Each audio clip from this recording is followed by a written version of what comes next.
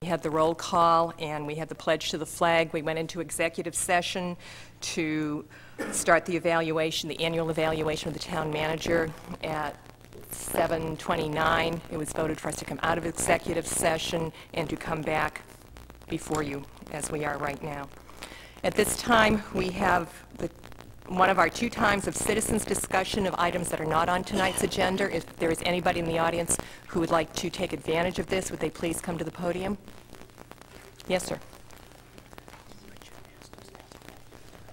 Okay. John Rich, Pleasant Valley Avenue. Uh, When I was in attendance at the last regular council meeting in December, we went into executive session with one item still left on the agenda.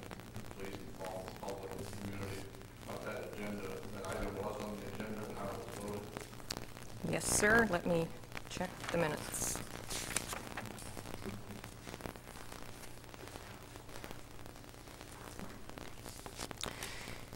It was item number 121, I believe. It was ordered that the Cape Elizabeth Town Council appoints Gerald Daigle as town assessor from January 1, 1997 to June 30, 1997, with the understanding that this appointment is not intended to affect the employment status of any town employee. There was a seven to zero vote in favor of the order.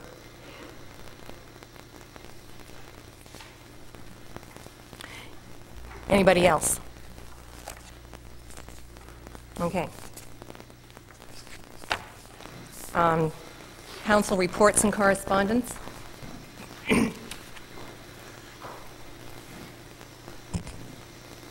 Anybody? Council Consel? Yes, um, most of you probably read in today's paper that there is a brid- uh, bridge open um, steering committee that's been formed. We um, had our first meeting back in the summer, and the person we were going to hire to coordinate the whole effort has, um, is not going to be able to do that for us, so we are starting from scratch. Um, The bridge is due to open this summer, possibly sometime in July, and we're uh, taking um, suggestions as to um, how to choose the first person, bicycle, pedestrian, or whatever across the bridge. An address, you could send written proposals to the Bridge Opening Steering Committee, care of the Chamber of Commerce of the Greater Portland Region, 145 Middle Street, Portland, Maine, 04101. And also, I don't know how many of the citizens of Cape Elizabeth are aware, but the council is, that there was a large article dealing with our transfer station, our dump, and all of the, the particular highlights, peculiarities, and everything else that go on there.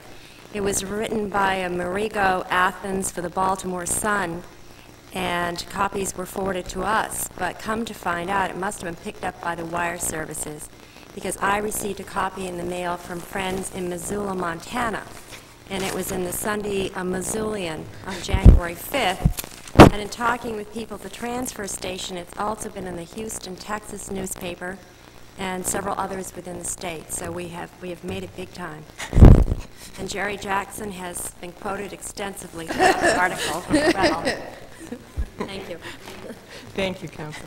Councilor Reed? Um, I spoke about that article recently to the mother of the author, and it's been in 17 um, uh, newspapers outside um, of Maine, obviously, and many more have picked it up. So it'll be rerun, and you'll be getting them from Hawaii and who knows where else. It's when we see Bob Malley on national television, we'll know we've really been picked up. Councilor Linnell? Uh, Thank you, Madam Chairman. Uh, I thought I'd let you know that the uh, Standing Committee on Utilities has asked me to testify later this month uh, on uh, on the Maine Yankee issue, and that'll be, it's tentatively for the 29th, and it'll be a three-hour meeting. You're all invited. Thank you. Anybody else? Councilor Jordan? Well, I just want to report that uh, at RWS, the executive committee met with the head of the Department of Environmental Protection in Augusta Friday, January 10th, and they'll be giving us a report once they hear back from the director. And uh, according to our rep, he really thought we had a very good meeting, and things went well, and they were glad to hear our issues. Thank you. I want to recap and give some upcoming dates where council will be meeting. We did have a workshop session last week on Tuesday, the 7th, with the school board. At that time, we were discussing the recent pool study, we discussed revenue and the capital improvement plan. We also discussed a proposal for a facilities manager, which we fully expect to be included within the budget for the upcoming fiscal year. We talked about student recognition and the Cape Coalition. We also talked about an upcoming meeting that we're going to be having at the end of this month on Wednesday, January 29th. Yes, we will be meeting in Scarborough. Both the Cape Council and School Board will be meeting with the Scarborough Council and School Board. The full agenda for that has not been set, but that certainly is a public meeting, and you're invited to um, participate. That will be held at the Scarborough Town Hall.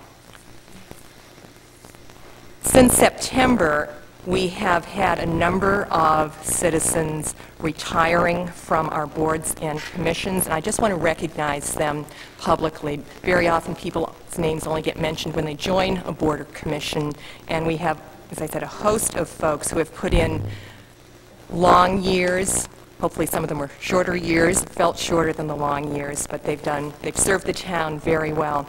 And they include Milton Hollowell, who is on the Cable Television Committee, Jeff Van Fleet from the Fort Williams Commission, Barbara Sanborn from Fort Williams Commission, Robert Packer from the Personnel Appeals Board, Steve Etzel from the Planning Board, Carol Fritz from the Recycling Committee, Joanne Daigle from the Recycling Committee, Mandy Garmy from the Recycling Committee, Ray Hutchinson, who'd served on the Riverside Cemetery Trustees, Jerry Petroselli, who served on the Zoning Board, Martha Kelly from the Zoning Board, Grace Myers from the Cable TV Committee, Marcia Donahue from the Arts Commission, and Jack Roberts from the Conservation Commission. And we heartily, sincerely thank those folks for their dedication and their volunteer spirit, volunteer spirit and the time that they put in serving the community.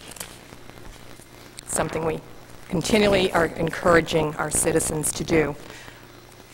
One thing we're going to be doing to help people understand what it means to serve on the municipal, in municipal office, such as the council and the school board, and what kind of time is involved and issues like that. We're going to be having a televised panel, hopefully on Thursday, February 6th. We have not firmed up the date or all the participants yet, but it's something that we thought would be a good idea to help educate people and answer some of the questions that are floating out there. That also gives me a very nice segue to make an announcement that I will not be running for re-election to the council this spring. So there certainly will be one real vacant seat, and I hope to have a very good representation of people who are interested in serving. We now have the minutes from our last two meetings. We have minutes from December 11th, our regular meeting, and a special town council meeting that was held on December 17th. Could I have a motion for those minutes, please? So moved. Thank you. Second? Thank you. All in favor? Seven zero. Thank you. We have one, two, three, four, five items on consent calendar this evening. Item number 124 is approval of a quitclaim deed for youth map U37-17 at 138 Mitchell Road. The recommendation is to authorize the manager to execute that quitclaim deed to Ross and Maureen Lonsdale for the land and buildings at that address. Consent calendar item 125 is approval of the United States Coast Guard change of command ceremony at Fort Williams Park to be held on Friday, June 27th. This is the retirement ceremony for Captain Stephen Cornell, to be held on the green aside the Portland Head Light. Item number 126 is the acknowledgement, acknowledged receipt, excuse me, of the fiscal year 1998 to 2002 capital improvement plan, which incorporates both the municipal and school components, which is a first that the council was very pleased to have accomplished, and we acknowledge receipt of that with heartfelt thanks to Scott Poulin and Mike McGovern for their work on bringing both components together in one document. Item number 127 is to schedule a public hearing on the proposed bridge name. As we speak, I believe, the Bridge Naming Committee is in the basement of this building finalizing their report that will go to the councils in Portland, in South Portland, and to this council. I think most of you are aware that the name most likely to come forth is the Casco Bay Bridge, the last I heard when I did speak with Gary Beckwith, who is our appointee to that committee. But we'll wait for the report, and, as I said, proposed um, public hearing to start, to be at the meeting here on February 7th, starting at 7:30 in the Town Hall, to consider that recommendation. February 10th. Mhm. Thank you. And item number 128 is acceptance of gifts received by the town during 1996, and we, the council receives an annual list of those gifts, and we like to accept them with deep appreciation to all the very generous donors who have made such gifts. They are listed in a memorandum to the council from Deborah Lane that was dated January 7, 1997. Do we have any questions or anything we- anybody wants to remove from consent calendar? Councilor Jordan? I have one comment. Yes, sir. I know the government always does everything right, but I'd like to ask the manager, is his name spelled MC capital G or is it MC with a small g? The government has it here with a small g. It's a good thing they weren't trying to save me on on the water. Capital G, sir. Thank you. I notice all other correspondence that way. So I'll so- I'll so move the consent agenda. I'll second. Thank you. Any discussion? All those in favor? Seven zero. Thank you. Item number 129 will be to consider public hearing comments and survey results on the condition of Fowler Road. Preceding that item, we will have a public hearing. This is a time for anybody in the audience who so wishes to come to the podium and give us your thoughts on Fowler Road. Mr. McGovern, would you like to give a brief intro on this one? Yes, very briefly, and then I'd like to introduce someone who uh, is here to present some information based on a survey that was done. Great. Uh, Several months ago, the town council looked at a number of projects that we could possibly submit to PACTS uh, for funding during the next biennium. Uh, One of the projects was uh, to do a reclamation of Fowler Road. Uh, When we first submitted that, it was, it was as a reclamation. Uh, PACTS later changed it into a reconstruction, uh, or MDOT for PACTS. Uh, It was then put in for, I think it was $2.5 million. It was, it was pretty obvious that we weren't going to be able to come up with a local match, and the way PACTS worked, that it would never, ever be funded. Uh, Instead, uh, PACTS funded it, uh, or lined it up for funding in the third year of uh, a three-year funding cycle. There's a biennium that starts uh, this year, and then it would be the third year out.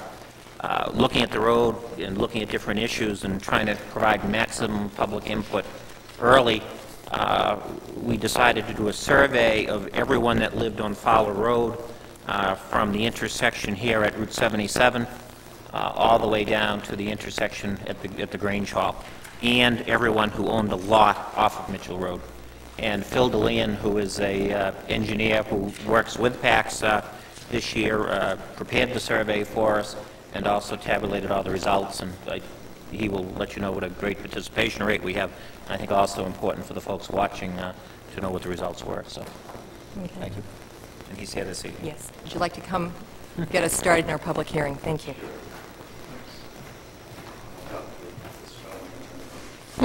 Thank you.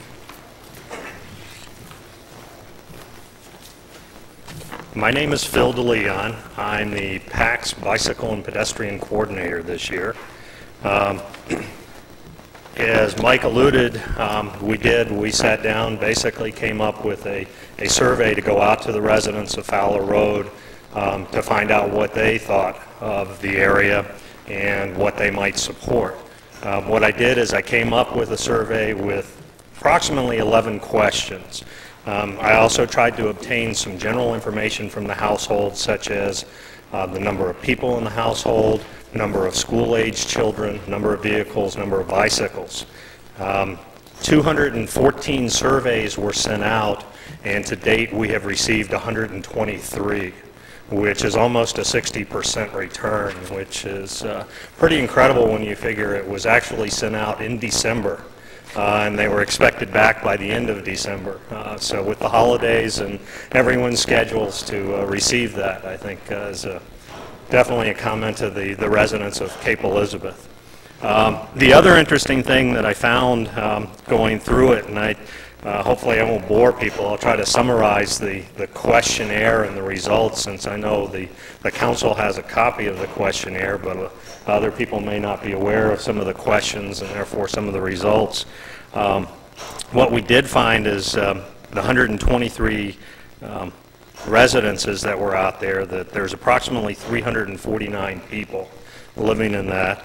Um, And out of that, there's 239 motor vehicles, cars or trucks. There's also 234 bicycles. So basically, we're, we're one for one with the, the bicycle and a motorized uh, transportation mode out there. Um, So that gave us a little background, a little information to go from. Uh, We also came up with uh, 94 school-age children. That was from kindergarten uh, through 12th grade. Um, The questions that we came up with, uh, again, was just try to, to get a feel for what the people out there thought and what they perceived, um, plus some other specific things such as the funding and what they might support. Um, It was, um, going through it, and I- there's some comments and things, and I I won't go through all the comments, are just a couple that I'll highlight. Um, But it was pretty uniformly, um, the results, um, what they came up with, and I think what I'll do is I'll kind of give you what the percentage is of uh, what was selected, and I think you can see that a lot of the questions were overwhelming um, as far as what everyone agreed to. Um, First question was the existing speed limit is 30 miles an hour, which uh, also will admit to a a correction error on my, my, my, my uh, my end. I had 35 in on the uh, the questionnaire, it went out uh, incorrectly, Uh, and there were quite a few people that uh, caught me on that and corrected me. So the the existing posted limit is 30 miles an hour, and basically, we were asking whether people um, perceived that drivers out there were going, you know, speed limits, slower, faster, uh, that type of thing. Um, 85% of the residents perceive that uh, most of the drivers are going slightly to significantly faster than the posted speed limit. Um, The second question dealt with the condition of the existing pavement, whether it was good, needed uh, some repairs, whether it needed a lot of repairs, um, those types of things. Um, Again, I'll kind of lump together some of the responses, but um, needs overlay, needs major repairs, and needs reconstruction uh, actually pulled in a total of 87% of the uh, responses. Uh, So there weren't too many that thought that the existing road was okay. Um, the, the third question was the one, uh, one of the stumpers, I guess, out there. We questioned uh, street lighting, whether it was not needed, adequate, needs to be at intersections near the school, or needed along the entire route. Um, If I take not needed and adequate as is, um, that comes up to a total of 48 percent uh, which leaves, uh, well, there's a few no responses. Uh, The people that wanted lighting, either at intersections at the school or along the entire route, totaled 49%. Uh, So you can see there was a pretty good uh, split there of what people think out uh, as far as street lighting goes. Um, uh, This one, I guess, was kind of for my, uh, my curiosity. I asked uh, uh, pre- predominant character of Fowler Road. I was trying to determine whether, you know, what people thought. I put in rural, residential, urban, or or other, and overwhelmingly residential at 86%. Uh, People believe it is. Um, which I was kind of surprised. I thought more people might uh, define it as rural, but uh, um, The next question was regarding drainage, and again, I know there were some responses that uh, people didn't feel like they were um, knowledgeable enough to make a decision on drainage, but uh, it's kind of like, you know, as a driver and having a driver's license, we're all uh, have a knowledge to make a decision on roadways and uh, traffic engineering and and issues like that.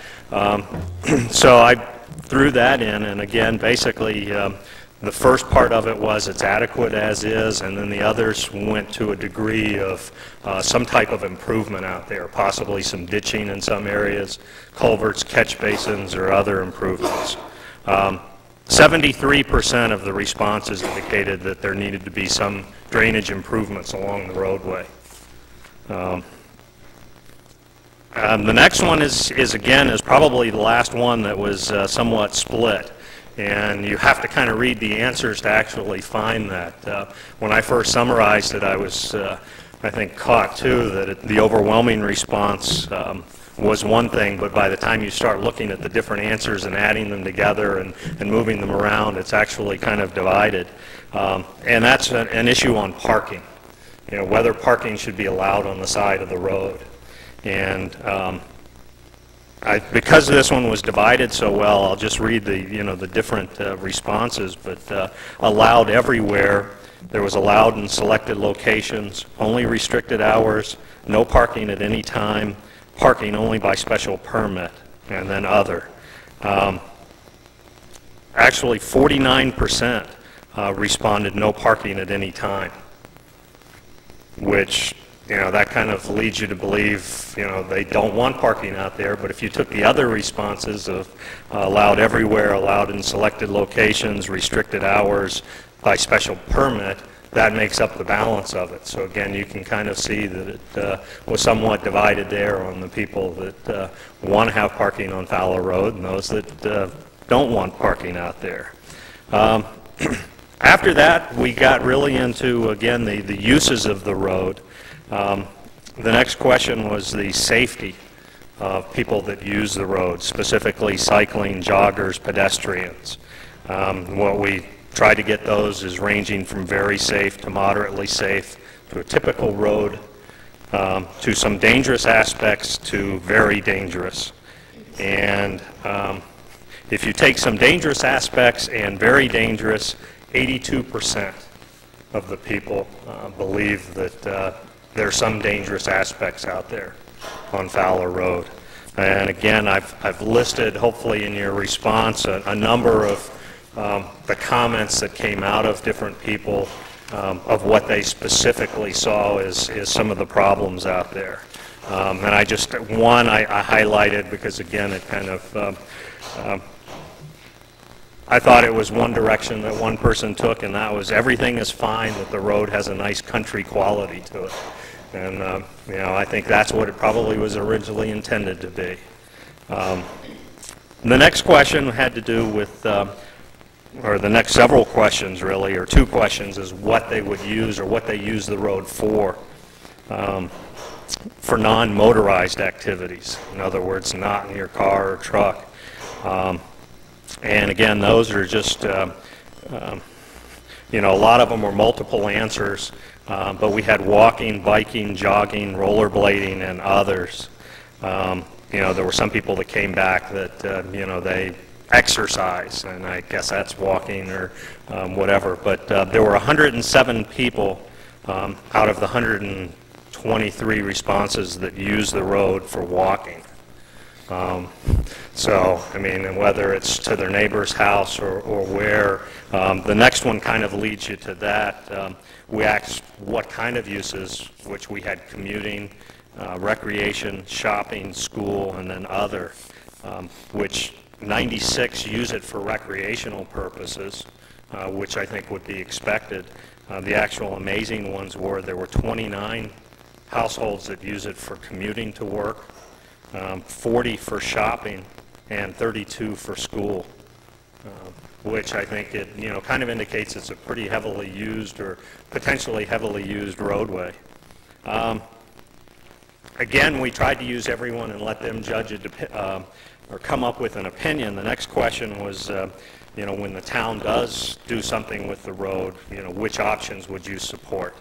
Uh, And we kind of, we, uh, the the choices we gave were leave the road as it is, in other words, the same width that it presently is, um, add gravel shoulders, add paved shoulders, um, and then we had other.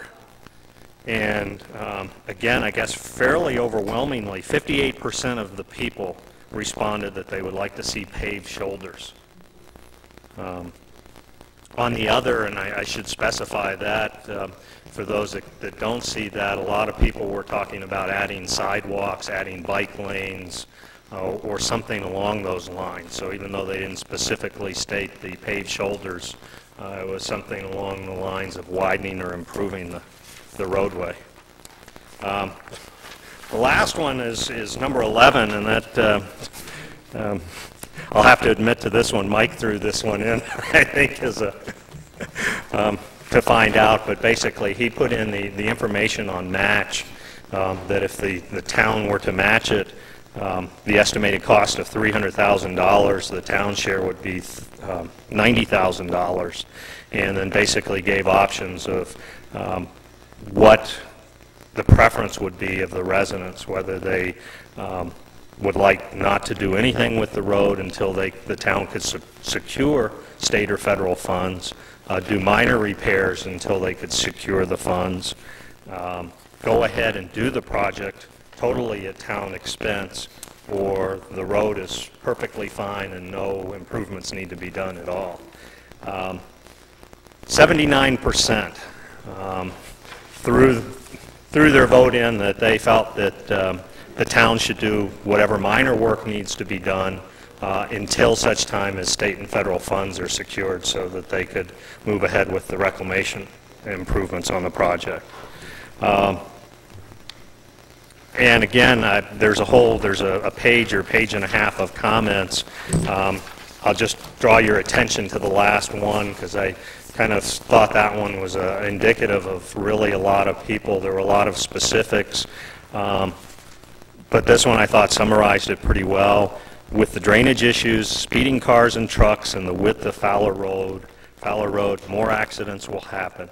Please fully acce- assess the situation on this road and restore its safety.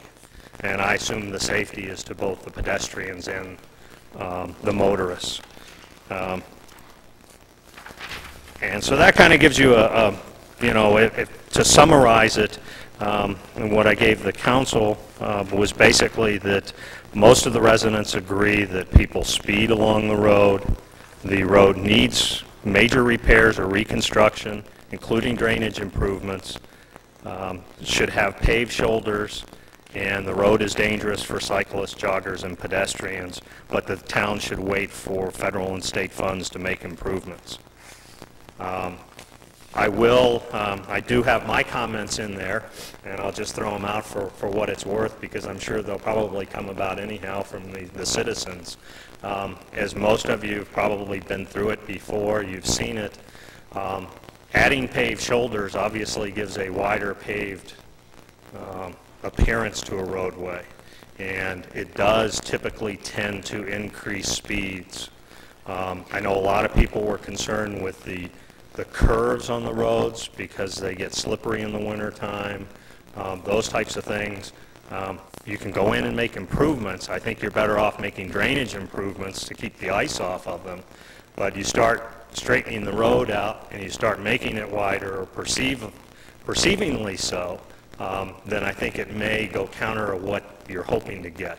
But I think there can be some improvements out there uh, that would work to the benefit of all those that want to use it uh, from safety issues. And I hope that the, the council will proceed in that direction at some point in time and look at those, that, uh, because again, I think there's a large number of people that like to use the road, want to use the road, um, and it's in an ideal location, obviously, to be utilized uh, from a pedestrian and- and bicycle use.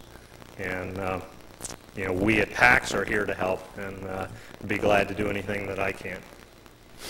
Thank you very much. Do we have any council questions for Mr. Fillion? Councilman Now. Yes, um, in number seven, uh, in the fifth category, specific areas, it says the hill towards Bowery Beach Road. Correct. Can you or anyone tell me exactly what, do you mean The- 77 itself, or coming, approaching it, or exactly where? I I mean, I'm familiar with the area, I just wanted to know what, just what was meant by that. Uh, Well, it's hard to say on some of them. Um, There there were comments as far as that the intersection, um, you know, was not well-defined. Um, You know, there's some visibilities with uh, cresting of hills, um, those types of things. Okay, I see Jack has kind of waved his hand. You need to be at the microphone, sir. Jack Roberts, 185 Fowler Road. I was just suspect, and I didn't put that comment in, but just uh, to the east, heading towards the uh, Sprague Corporation, uh, beyond Susan Road, you know where Kurt Brown lives, or Yeah, or that- uh, that Murray's. by Kurt's. That's a a rounded curve that goes up a hill. Uh, There's a drainage problem there. It's usually quite icy, so you get both the hill and a and a curving turn. Resident of Fowler. Yeah. Thank you. Thank you both. Are there any other questions for Mr. DeLeon? Counselor Reed? Yes. I, I want to thank you for solving a problem that the town council has in the description of um, the town. We, some of us think it's rural and some of us think it isn't, and so now if we just change it to residential, we'll have uh, that problem solved. Um, One of the things that I would like uh, to ask is, uh, the Pedals and Pedestrian Committee did an extensive townwide survey um, of areas, and Fowler Road was also identified in there as a place for a bikeway, walkway, pathway. Um, Also, that uh, 67%, Gary, said that the uh, roads in Cape Elizabeth were uh, unsafe um, for bikers and pedestrians. So, again, on the broader uh, uh, brush of the whole town, um, the numbers seem to bear pretty consistently. So, wonderful questionnaire. Um, Thank you. A lot of information here. So, but I did want uh, people to know that throughout the town, in a survey done now two years ago, the same uh, sentiment was presented. And the P2 committee did vote uh, to recommend that paved shoulders be added to Fowler Road during this project. Any other counselors? Thank you very much. There may be some questions for you from the public, so I wouldn't stray too far from that microphone. Is there anybody in the public who would like to address this issue? Mr. Roberts? I need to introduce myself again, or are we all set on that? Uh, Jack Roberts, 185 Fowler Road. Uh, Madam Chairman, members of the council, thank you for the opportunity to speak. I would like to say that I appreciate the town uh, sending out the survey to the residents uh, prior to doing work and- and seeking their input. I was uh, quite comfortable with most of the positions that I saw the neighbors coming out with, and, uh, but I did have two concerns when I was reading through the, uh, the answers that they had come up with. One of them was trenching, uh, in that I don't believe the residents realize that in order to have the trenching, they, they're going to widen the road considerably if they still have the paved shoulders. And without the paved shoulders, if they have the trenching, it's going to make it even more difficult than it is at present to get off the road when you have oncoming traffic. Um, So you need to deal with that. The other issue was parking, and primarily, uh, most of the neighbors seem to police themselves pretty well. You don't generally go across there and see too many cars in the road. There is one area uh, in the 2 to 300 block of Fowler Road where there's perhaps occasionally cars that are hard to get around. The only time the parking seems to be a major problem is in the summertime when people are having yard sales. And then you'll see cars parked on both sides of the road. I suspect posting no parking signs are not going to affect that particular group of people because they're going to say, I'm only here for a minute, they'll run in to, to do their shopping and leave anyway. And what will result is no parking for the residents themselves that live along the road. Which brings me into uh, my other issue with the parking. The survey doesn't delineate between uh, the people who live on Hampton or Weathersfield, on Susan Road, et et cetera, to those that actually live on Fowler Road and to which would have the most impact. And it's the trenching and the parking and the lighting that you should perhaps have uh, a little clearer understanding of what the residents along there themselves would like. It's easy to say, it's easy to say no parking on somebody else's road, but when it's your own, and it doesn't affect me, I can put 14 cars in my driveway and get them all off the street, so I'm, I'm speaking for neighborhoods with our neighbors up beyond me perhaps, or up near this end of town, that have small lots and don't have that luxury uh, available to them. The, uh, that basically was, is my comments. I, again, appreciate the opportunity to uh, speak to you and for the survey, and uh, the- questions were good. Uh, And I too noted that it was 30 miles an hour there. Thank you. Anybody else from the public? All right, we'll close the public hearing. Counselors, we have a motion and then discussion, please? Counselor Linnell. I'd move that we authorize the town manager to notify PACTS of the town council's endorsement of the proposed reclamation of Fowler Road with plans to return to the town council for review and approval prior to any construction. Strong consideration and design shall be given to the results of a- a the survey recently conducted with said results to be attached to the minutes of this meeting. You want to put the sum in? Do we have a second? I'll second it, but do you want to put the sum of money on there? It's in front of it.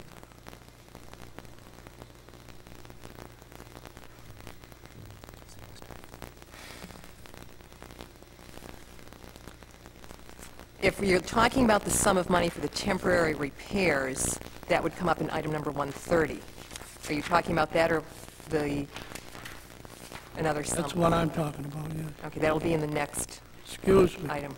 on the wrong item. I know we're moving things along here, Counselor. Any discussion on the motion for item 129? Counselor Reed? Is there any way with um, the degree of um, deterioration of that road that we could um, do anything before 2001? Under any circumstances? Yeah, the, the next item, uh, we would- it does relate to this, proposes some temporary repairs, and Bob Malley is here to explain uh, how those funds might be utilized for temporary, I meant within the scope of the PACTS application process.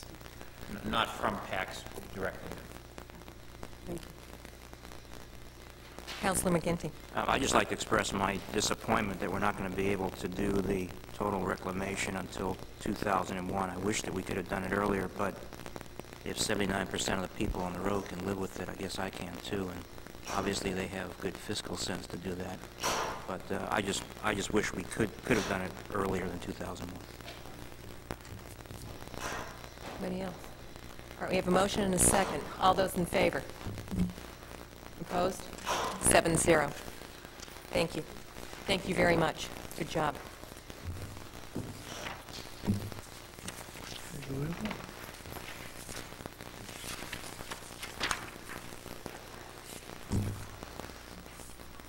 Item number 130 is to consider approval of proposed allocation for fiscal year 1997 roadway and drainage account. Mr. McGovern? Yes, Mr. Malley is here uh, on this item. Uh, We, following uh, one of your workshops in November uh, or early December, I indicated to you that we would, we would come back to you with an outline of exactly where we stood with the road- roadway drainage account. The amounts have been set aside, sort of to reconcile the account. That's been done. Uh, you know, I have tremendous concern with the condition of many of our roads. I think they're deteriorating rapidly. Uh, You know, obviously, we need to get a lot done, and this proposes getting on with a lot of it. Bob is here. If you have any questions on the particular suggestions that are in the proposed motion, would you like me to read those? Yes, please. Uh, $10,000 toward temporary repairs on Fowler Road, uh, 25,000 for miscellaneous paving on streets throughout the community, but with $2,100 of that particularly allocated to repair and reclaim uh, with gravel, uh, not not paving, uh, some of the Shore Road shoulders. Uh, The local share for the Route 77 Shore Road, Scott Dyer Road traffic signal, $10,000. Uh, 10000 for miscellaneous drainage project, these are ones that we we use to be responsive to citizens throughout the community, and $45,000 towards a project next year that is expected to cost a total of $125,000 for the reconstruction of Pleasant Avenue, which is off Spurwink Avenue. Thank you. Mr. Malley, did you want to give any information? Someone had a question about the temporary repairs of Fowler Road, what that involves is selected shimming of the areas where the pavement's been pushed away, and um, it's... Could you explain what shimming is? Well, it's a, it's a light overlay, it's a maintenance overlay of the pavement, uh, one inch or less of thickness. And the worst areas are from Susan Road to the Grange Hall, that's probably the worst section of road. So it's basically just holding that existing pavement together. And then there's a couple other spots between Jewett and Fenway, but uh, it's really just to get us to the point where we can do the reconstruction. Thank you. Councilor McGinty? Question on that point. Um, Is that a one-time deal? Is that, will that last to 2001? Yes, Just it should, yeah. Any other questions for Mr. Malley while he's at the podium? Councilor McGinty? I have a couple of questions. I don't know if they're appropriate for Mr. Malley or for Mr. McGovern on the status of a couple of these, Certainly. uh, for either one. Um, What is the status of the uh, traffic signal for the corner up here? I thought we lost that, um, that grant for that signal. Uh, What's, where's that stand? Yeah, we did. Uh, The gov- the governor, I don't want to blame it on him, the Commissioner of Transportation, uh, last year, without any notice to the town, because they hadn't heard from the town in a while as to where we stood with that project, uh, canceled the project. In later discussions with MDOT, they agreed that that was inappropriate to have done. Uh, Back in October, I believe it was, could have been September, the town council authorized us to ask some of the money with- from the Shore Road Bikeway project, since that wasn't being done, to be reallocated toward this project. Uh, That, when the letter went to the state, it would also went to PACTS. In November, I believe, it was endorsed by PACTS as an amendment. Uh, Letter was sent to the state. We haven't heard back from them. I spoke with them this morning on the status of some of these projects, and it was again, you know, we'll get back to you. Uh, They have not formally acknowledged it in writing. They did acknowledge that we could start the engineering on the Two Lights Road Bikeway project, which is, we're making some progress. You got anything else? Jim? Um, On the Pleasant Avenue situation, did we just do something down there? Is this something different, or am I thinking someplace else? Well, we're doing the engineering right now on the reconstruction, but we haven't done any No. repairs or That's fine. Thank you. Councilor Jordan? I ju- just want to ask the man that $10,000 for the local share of 77 Shore Road for the, and Scott Dyer Road signal, is that just to build up a kitty, or is there some work that's got to be done before? That would be the total local share of the cost of that project. So the bucks will be there when we do the project, is what you're That's saying? correct. There- Okay. There's no anticipation there'll be any request for any additional local funds. Okay, thank you. Could we have a motion, please? Madam Chair, I move that we uh, approve the following allocation of funds within the roadway drainage account. $10,000 for Fowler Road temporary repairs, $25,000 for miscellaneous paving, including Shore Road shoulders at $2,100, $10,000 for local share for Route 77 Shore Road, Scott Dyer Road signal, $10,000 for miscellaneous drainage projects, and $45,000 towards the total of $125,000 needed for Pleasant Avenue. Second. Any discussion? All those in favor? Opposed? Seven zero. Thank you. Thank you, Mr. Malley.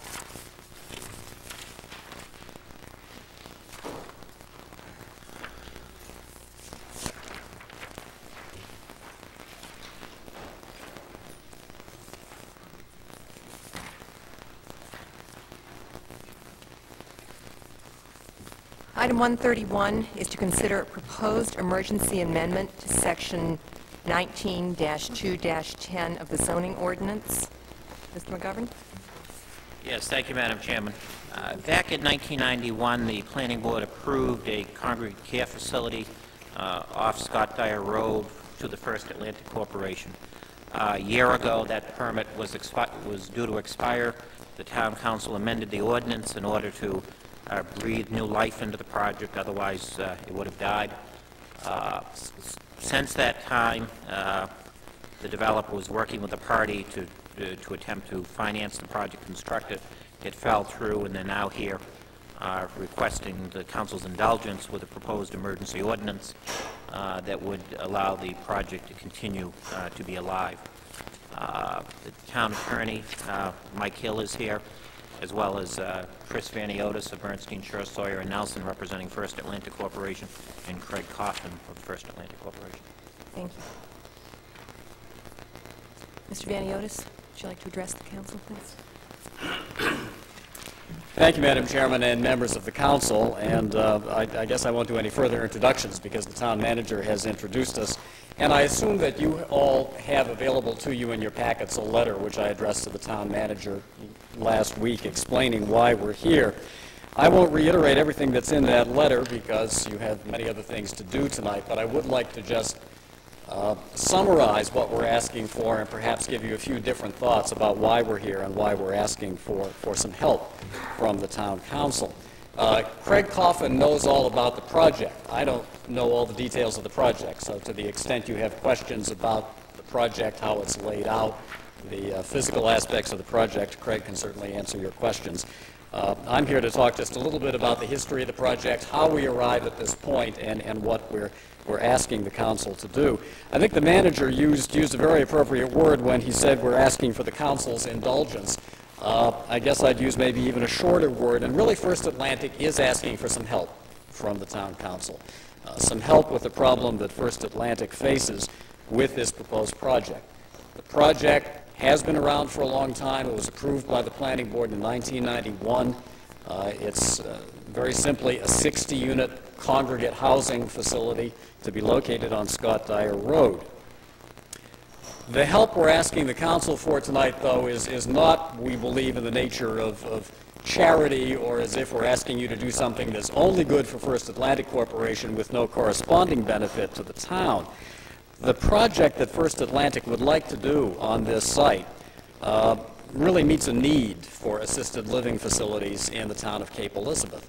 The town recognized that need back in the late 1980s when it enacted, in response to this proposal, the set of ordinance provisions now in the zoning ordinance which govern congregate housing facilities uh, and made this project possible so it could go forward to the planning board for its approval finally in 1991.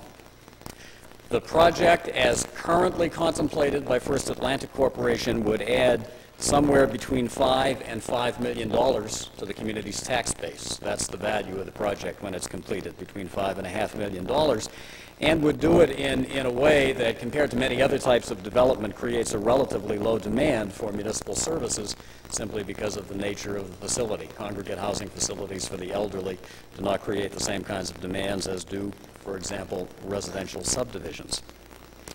I was here just about nine months ago in May. Uh, I think all of you were here, perhaps except Mr. Groff.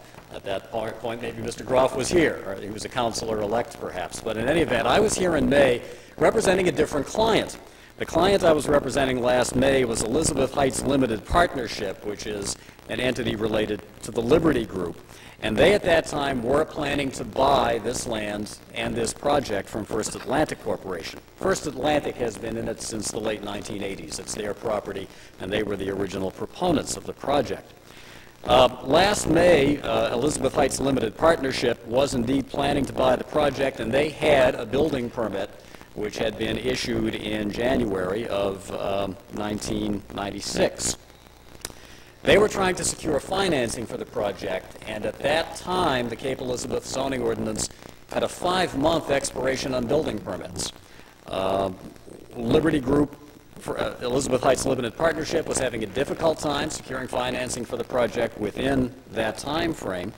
And when we discussed that with the town staff, the town staff said, well, perhaps you should talk to the town council about taking a look at that five-month period.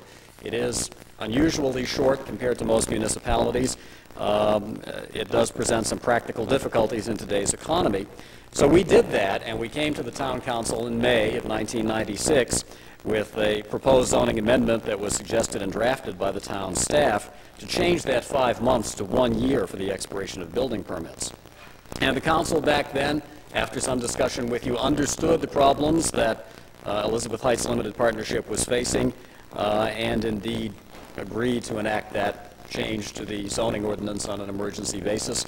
The emergency uh, then, as it is today, was an issue of timing with things about to expire. And uh, we all thought, I think, the council thought, and certainly my client at that point thought that that would solve the problems.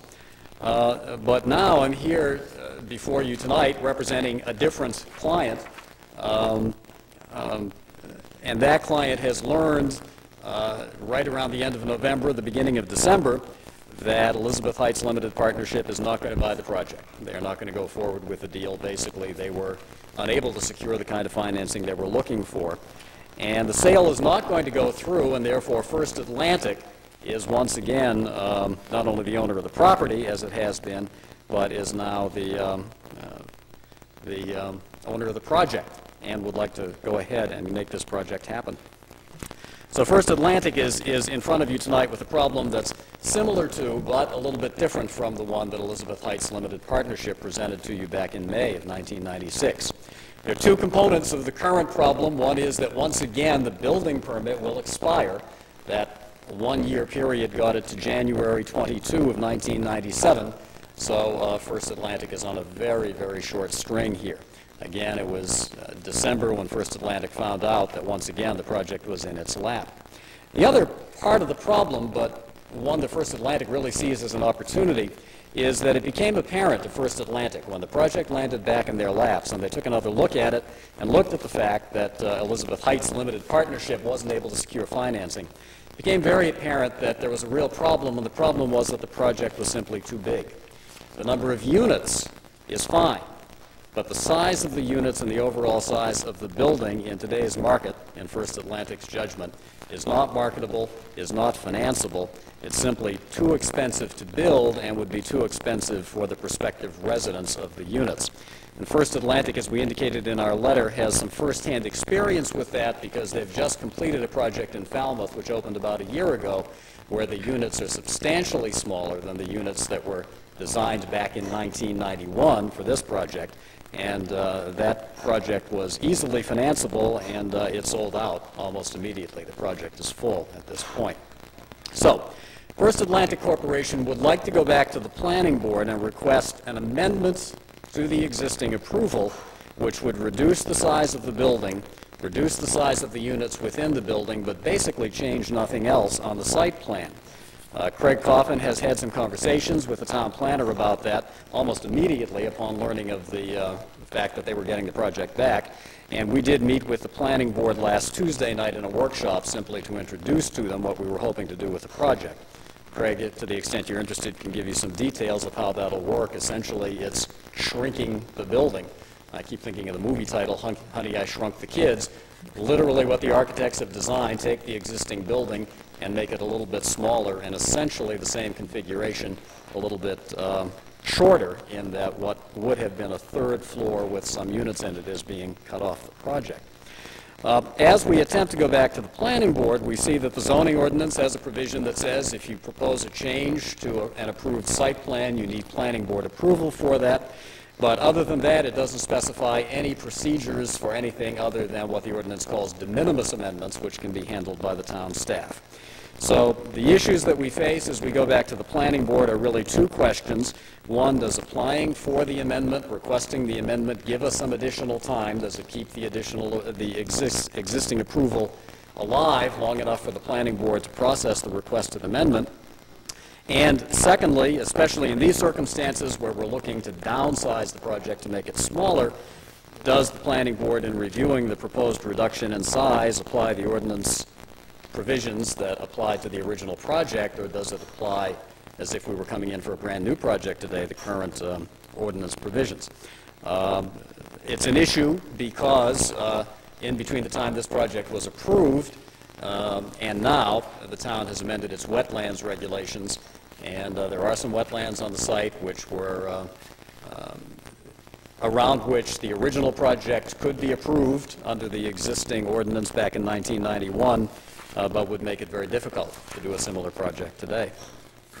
Uh, What we're asking the council to do then, and again, I think the manager hit it right on the head, we're asking for some indulgence from the council, uh, we're asking for assistance from the council, uh, is to look at this proposed ordinance language, which, which we drafted and have run by both the town manager and your legal counsel, Uh, And it would simply add some language that indicates that when an applicant has an existing site plan approved and comes in and requests an amendment, uh, that keeps the existing approval alive so that the planning board can process the amendment, and then after the amendment is approved, assuming it is, uh, there's a year after that to actually commence construction and start the project. And the second aspect of the amendments is that for downsizing only, that is, only when the proposed amendments would make the project smaller, uh, the original ordinance criteria would apply. That's what we're asking for. Craig Coffin is here to answer questions, and I'm certainly available to answer questions uh, about the process and how we arrived here and what we're suggesting to the council. Thank you for your Are there- attention. Are there any questions at this time for Mr. Vaniotis? Councilor Reid? Uh, My question would be, what would the ramifications be uh, in an outline like you just did if we say no?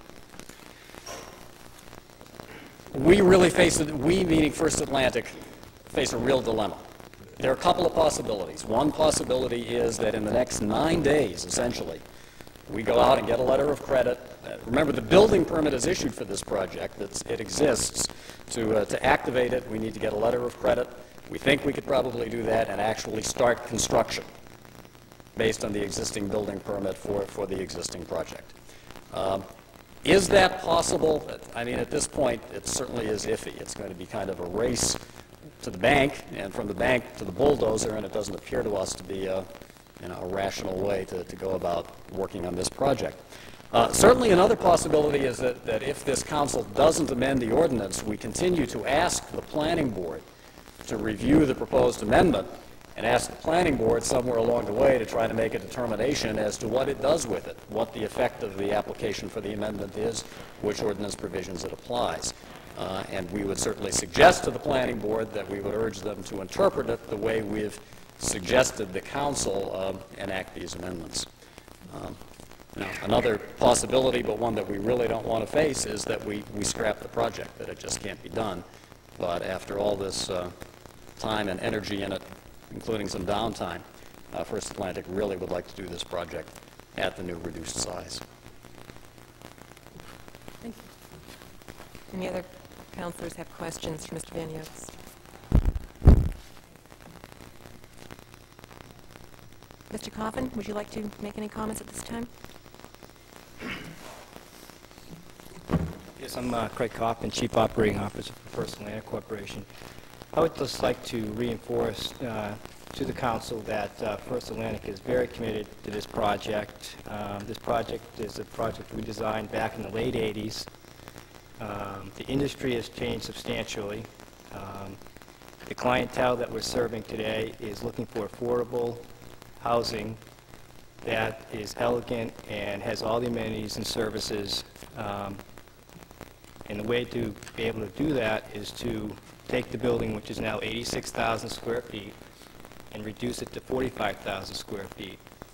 The industry average and what the uh, financial institutions are looking for to finance this type of project are looking for projects to be 750 square feet per unit.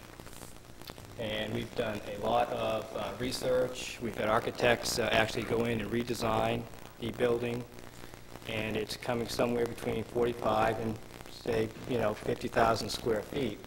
And it's very doable. It's still staying 60 units, same site plan, same facade, uh, which is a cottage-style shingle uh, cedar siding, um, same number of parking places, same amenities, same services, same lighting plans, same buffer plans, you know, um, you know, for uh, helping uh, reduce the impact on Elizabeth um, Park, I believe, which is next door. And um, it really isn't going to change at all, except for a um, reduction in square footage, which is substantial. So it's going to have a lot less impact on the site, and it's not going to be as large, so it's going to have a less impact visually also. Uh, The building's shrinking substantially, and we're also reducing the height of the building by five feet because as it was originally designed, there was units, excuse me, nine units on the upper level, which is now being uh, eliminated. So we're also able to uh, reduce the impact on height also. Thank you. Any questions for Mr. Coffin at this time? Mr. Coffin, I do have a question. Yes. With the proposed new, proposed revised size of footprint, does the layout meet today's ordinance requirements, Yes, especially those re- relating to wetlands? yes. It does. Yes, the building and the site improvements don't really affect the wetlands substantially at all. It's, uh, the- where the wetlands comes into becoming an issue for us is the number of units, um, because uh, when you come to, um, I believe I'm correct in this, when you come to determine how many units can be built on that 30-acre site, you have to eliminate the wetlands, uh, be able to get that density, and that's where it makes this project not uh, feasible. But where the project is actually being built, it's up on a knoll, so it's not impacting the wetlands. Okay, so help me work this through with the density situation. What would you be permitted on that site for density? Do you know, for number of units? Very few. Um, You know, I don't recall, but uh, it was basically, um, you know, it was very few, you know, somewhere probably between, I'm guessing, but it's been some time, but... Well, don't guess. I don't want any guess numbers out here. I, I was real diligent. I'd open up the zoning ordinance. Yeah. But it wasn't, it wasn't, it wasn't where it was feasible to be able to do this type of a project. Would I be correct in stating that under the current zoning ordinance requirements, you would not be able to proceed with this project in the, re- in the current or in the revised configurations, Under the new ordinance? under the new ordinance, That's right, today's ordinance requirements? yes. And, and again, our understanding is that's because of the density calculation, in terms of meeting setbacks from the wetlands and all the other requirements of the ordinance, but you add in, excuse me, when you add in the, the the town's new wetlands tiering system and what has to get subtracted out to do the density of the project, that's, that's what makes it um, impossible to have a feasible project on this site. To to get the, to finance, to have it financially feasible? Well, and, and, sure, to, to, to make it, to make it large enough that anybody would do congregate housing for the elderly and have enough units to make it work. Okay, so it's the density that's the real project killer at this point, if you're under today's standards? Is that, That, that's right, and that's because with the new wetlands regulations that took effect, more of the land area would have to be subtracted to figure the density. all right, thank you very much. Anybody else, questions for Mr. Coffin? Not right now, anyway. Mr. Hill, is there anything you'd like to add at this point? Um, Just that uh, Mr. Vaniotis's points on the, um, the timing of an amendment, whether the planning board has the uh, authority to look at the existing ordinances or those that were in effect at the uh, time the original site plan was approved. Our, our um, ordinance does not address that, nor does it address the, the duration uh, of an amendment. So if, if somebody is uh, coming up to the wire like First Atlantic is on, on their approval, our ordinance does not say if an amendment is granted that you get an extension of time. So there, there, those two issues would, would apply to any project, and obviously they are most critical to First Atlantic. Um, The proposed uh, emergency ordinance addresses both of those issues um, and tries to limit um, the developer's ability to keep coming in for successive uh, amendments to extend the life of the project indefinitely. It would allow one, uh, one amendment, one extension uh, because of the amendment. So conceivably, if a site plan were approved this year, um, a developer could come in and ask for one extension without an amendment, giving it a two-year life, and then at the end of the extension, come in with an, uh, an amendment and breathe another year's life into a project. So a site plan approval could possibly be three years. If it were approved in 1997, it, it might not expire until 2000. Okay. Do you have any words of wisdom or caution for us? Um, Precedent setting, anything like that? Well, uh, as far as uh, precedents go, I, fr- from a, from a legal standpoint, I- I'm, it really is not precedence in the sense of, like, the Maine Supreme Court passing a, uh, deciding a case, and that becomes uh, precedence. Um, Obviously, the town council wants to treat everyone uh, consistently and fairly, uh, so in that sense, if you're presented with this request today uh, for an emergency ordinance to breathe life into this project, and it stands automatically repealed on the 91st day, and another developer came in, uh, I'm sure that developer would bring this up, that uh, you did it for First Atlantic, please do it for me. So in that sense, it- it's of no legal, really, it's of no legal significance, although there- you would want to have the, uh, you would want to treat people fairly, so that might be brought up uh, by another developer. Uh, In terms of, you you really have to think of it from a policy issue. Uh, Do you want projects um, to be reviewed under the, under an older ordinance and not the current ordinance?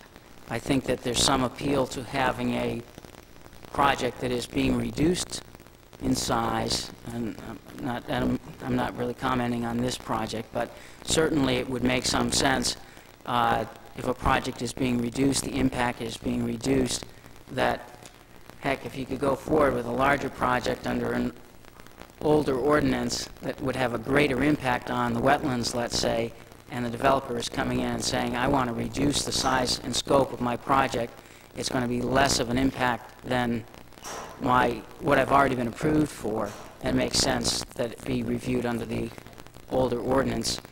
Conversely, if someone came in and wanted a much larger project that's going to have a much greater impact on the wetlands, you would want it to be reviewed under the current wetlands ordinance, which is more uh, stringent. So those are some policy considerations that you might have to look at. Okay. Any questions for Mr. Hill? Councilor Jordan? I have one question for Mr. Hill. If we give one extension, kind of be written in that that there would be no more extensions? Yes. So we couldn't go on three, three times like you just explained there? When we get locked into something, that's what I'm asking. Well, uh, I was giving you an example of what, if this were uh, adopted, what the longest a project uh, could live, so to speak. And right now, under the existing ordinance, a a developer could come in and ask for one one-year extension. So under the existing ordinance, a project ha- conceivably has a two-year, could have a two-year life. And this amendment would actually give it conceivably a third year if they, if a- an amendment were granted at the expiration of the first extension, the first and only extension. Mr. Hill, I think it might help if you gave the example of this project that we're considering right now. How long, how much longer could this one live? Th- This one would live one year from the approval date of the amendment, so it won't expire in January of 98. It would expire, if the planning board approved the amendment in March, then it would expire in March of 98. What if the planning board didn't get around to approval within the 91 days? The wording of the emergency ordinance would allow uh, the project, as long as the request for an amendment were made within the 91 days, then if the process took longer, it would still be viable. Okay. So if it didn't happen until, you know, June or July, something like that, uh, it would still, then it would expire in June or July of 1998. A year from... now. Yes. Councilor Jordan, did you have anything else? No, I was just trying to figure out why we couldn't, if one extension was given, why it couldn't be that period and not be allowed, they could come around the back door again and get another one, that's all I'm saying. And uh, I Oh. feel that we can do it. Councilor McGinty? Th- That's my, I have two questions. That's my first question. Is there any reason why, if we gave them this extension, they got the amendment, they came back a year from the time they got the amendment, that they couldn't come back again and ask for another emergency ordinance to virtually do the same thing again? They could, could they do that? They could always ask, yes. Okay, so as this, the second time they come back this time, but my other question was, is there any legal reason for us to treat these, this project any different than any other project that we have? Um, I'm not Well, sure the- where the- you're... the last, the- the last time we went through this, there was much discussion by the the town manager that we might be facing a takings um, situation, or that by denying them, we may be denying them some return on their investment or something like that. But um, it was my understanding that it was presented to us by a member of the planning board, that she had talked to you, and that you had said that there is no legal reason for us to treat this any differently than any other project. Well, I don't know whether there would be a takings claim resulting from this project uh, failing. Um, There may be, there may not be, I don't know. It certainly, uh, from the sounds of it, if they don't have their density require, uh, an appropriate density to make the project feasible, then uh, from First Atlantic's point of view, the value of the property has been diminished substantially. And, but I can't tell you tonight whether there is a takings claim out there. Mr. Vaniotis may have an opinion on that. Uh, Absent that potential, I don't see any uh, legal reason that um, you should treat this this project any differently than any other, other project. You may want to ask Mr. Vaniotis his opinion on that, however. We'll wait on asking him. Yeah. Mr. McGovern wanted to make some comment. I just wanted to very briefly relate, I think what I said last year in relation to that. The town has been able to avoid up to this point a potential exposure on a takings case where there's been an approved project and then someone else has had to come in for a new approval where you can see one to one or one to whatever the other number is as to what occurs. And I think the point I made last year, without prejudice to the request this year, is, is simply the fact that, that, you know, that it does open up the door so that a, a real analysis could be done with real-life numbers as to the effect of the ordinance on a particular project or on a piece of land. Whether or not the courts would rule, you know, if they couldn't do anything, whether that's taking, you know, Right. I would defer to the Right. attorney. And just the fact that this particular project uh, makes the land worth uh, X, and without this approval, it's going to be uh, worth less than that, doesn't mean that there's a takings. There may be other uses for the property. I don't, you know, it may s- have uh, capability of putting some single-family homes on it. I don't really know the answer to that question. Thank you. Councilor Cogswell. Yes, um, I'm having a great deal of difficulty um, dealing with this emergency ordinance. Am I correct that this is being brought forward by Mr. Vaniotis and his client? It wasn't a recommendation of the town attorney or the town manager? That's right. Um, Because I, I feel the town of Cape Elizabeth has been extraordinarily accommodating to this project. Number one, we wrote an ordinance to fit your project with your particular criteria that you wanted. Um, Then you uh, received your other extension from the planning board. And as that was about to expire, I believe you pulled the building permit last year. And because of financing of a second group coming in, you came to us to ask that the building permit have a life of a year. At that point, I was under the impression that most definitely within five months, we'd know yes or no whether or not the funding was there for the Elizabeth Heights group. And I believe Mr. McGovern even did- did some double checking. So to say that it wasn't until December that you didn't know that it was not going to happen kind of raises my eyebrow a little bit, as well as, um, have you made any formal application to the planning board to try to get this process going, since you know this is going to expire in nine days? We have not made a formal application. As you know, the process of a formal application to the planning board requires a great deal of preparation, and the plans weren't ready. We have advised the planning board, uh, Mr. Coffin has talked to the town planner, and we did meet with him in a workshop last um, Tuesday.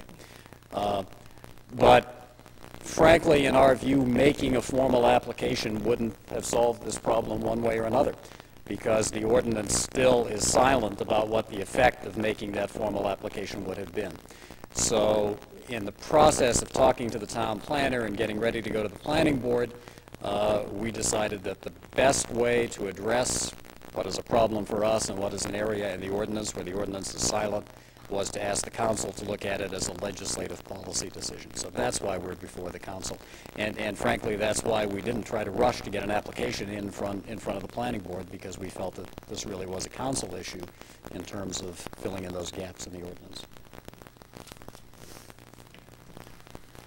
As, as you're well aware, there are reasons why, because of, of um, things that have occurred in the past, that you do change ordinances and you update them, and um, you have special restrictions, and you also have expiration dates. And I guess I don't need to bring to your attention this article you wrote for the Maine Bar Association on limbo acres, um, trying to um, breathe life into unfinished developments caught in a recession and you state several court cases that, that support basically what our ordinance is and what we've done. And I feel that the town as a whole has succeeded, um, even more than more than accommodating to extend deadlines for this development that basically seems to still be caught in the economic um, cycles. Um, I also feel very concerned about trying to go back and we probably can find a copy of the, the previous ordinance, but in that previous ordinance, it also does not have an expiration date that's specifically stated. So that would be another concern. Um, if we even began to seriously consider the emergency ordinance. Um, and I feel it's stretching the whole point of an emergency ordinance because I don't feel that it's affecting the life, health, welfare, and property of the inhabitants of the town um, to a highly detrimental effect. So I, I can't support this. I think it's a bad policy. Um, procedure, I think that that's part of the risk of being a developer. And usually if someone undertakes a development like that, they usually have at least some money already set aside. And yes, perhaps you didn't get the full financing the first time around, but I would have thought that um, that other avenues would have been explored sooner. Council, are you finished, Council Cogswell? Okay. Council Linnell. I just want to make sure I understand this. Um, If, if someone uh, comes before the planning board and they get permission, then they have a year to put their building up. Then uh, you can ask for an extension up to another year. And then if, if, if the emergency ordinance we have before us is passed, they would have one, under this ordinance, one and only one, one uh, extension to the amendment. Is that right? Uh, So- that- That's correct. This ordinance as drafted, if we were talking about a project that came in the door today, would apply that way. There would be one year, there would be the possibility of an extension for no particular reason for an additional year, and then if an amendment were requested to downsize the project, uh, there would be the additional year after that. That's, that's what's in front of you. As applied to this project, it's, it's only one more year, though, because at, at the suggestion of, of Mr. Hill, we added language that says if an applicant comes in with a requested amendment, that's it. That's the only additional one year based on an amendment to the ordinance. I'd, I would just also like to point out that this, this is, this ordinance presents some real risk for First Atlantic in the sense that also, I believe at the suggestion of, of the town attorney and the town manager, if the planning board should say no to this requested amendment, the project dies instantly because this draft ordinance says the original expiration date would automatically kick in. So, and, and I say that only because we, and, and that's acceptable to, to First Atlantic because First Atlantic's goal here really is reducing the size of the project. That was not something we dreamed up in order to get an extension. The first goal is to build the project at the reduced size, and if, if, if that doesn't happen, then under this ordinance, we bear the risk that the original expiration date of January 1997 will have gone by if the planning board says no. Thank you. Councilor Groff? I'm going to support this, uh, this emergency ordinance, and I will say why. Um, The world isn't perfect. Uh, Everything can't always be wrapped in a perfect package that performs absolutely as we expect. In my view, this is not near the, le- I'm a lawyer, but this is not a legal matter as far as how I'm making my decision. This is a common sense decision. I believe that, uh, after sitting through last May, that this project was good at the time. We're now talking about a project with less impact. It's going to be reduced. It meets a need in this community. I think this town needs to exercise uh, uh, common sense and not be hostile to endeavors such as this. I do not think that, uh, as much as we would all like to have everything perfect, the world simply isn't. And this is still uh, a good alternative. It's a good proposal. I believe that uh, after reviewing the emergency ordinance, I commend our town attorney for this, and I think it's, I think it's, in this particular case, good public policy, and I support it.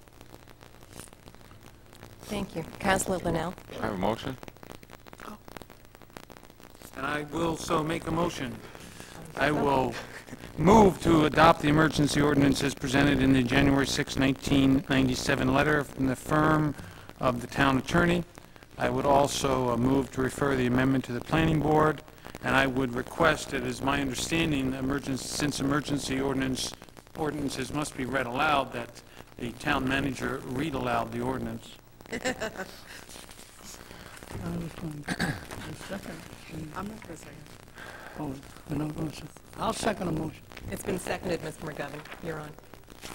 What's the one? Yes, uh, Town of Cape Elizabeth Emergency Ordinance.